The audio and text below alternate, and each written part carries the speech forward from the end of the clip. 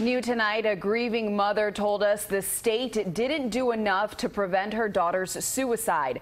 The state says neither did the mother. In fact, they say the mother watched the suicide on Facebook Live and even egged her daughter on. CBS 4's Carey Codd has more of the jaw-dropping accusations. Carey. Seven weeks ago, I sat in a conference room in a lawyer's office in the building behind me. I listened to Naika Venant's mother criticize DCF for not doing enough to prevent her daughter's very public suicide. Tonight, in a new re newly released report from DCF, the agency is saying the same thing about the mother. The public suicide on Facebook Live of Naika Venant while she was in foster care continues to reverberate through Florida's child welfare system. This report released late Monday afternoon by DCF sheds new light on Naika's case and what DCF believes was her mother's role in the suicide. The report alleges that Gina Caze, Naika's mother, was following Naika while she was on Facebook Live for the two hours that preceded her suicide, and that during that time she wrote things that could be considered mentally injurious to her suicidal child and failed to seek help for her daughter. Specifically, DCF have cited this post on the Facebook feed, allegedly from Naika's mom.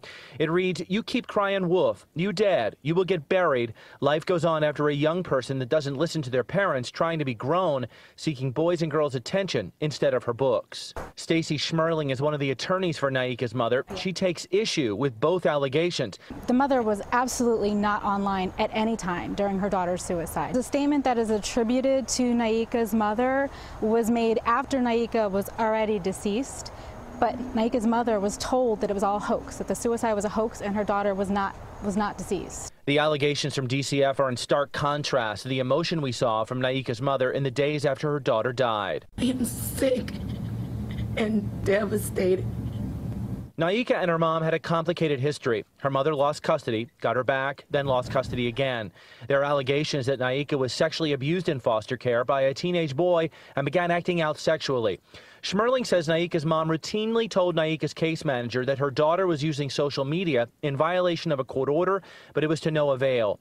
The report says Naika told a caseworker prior to her suicide that her mother no longer wanted her, but Schmerling says that's not true. At no point would she have said that she doesn't want to have any type of relationship with her daughter. Now, the attorney for Naika's mother says Naika was shuttled between 14 different foster homes over nine months and that none of those homes provided the kind of care that she needed. DCF says they're trying to learn from Naika's case. They're providing more mental health training for employees, teaching foster parents about social, social media usage by kids, and also making sure there are, no, are enough specialized therapeutic homes in the area. Live in Plantation, Carey Codd, CBS 4 News Tonight. Such a sad story. Thank you so much, Carey. And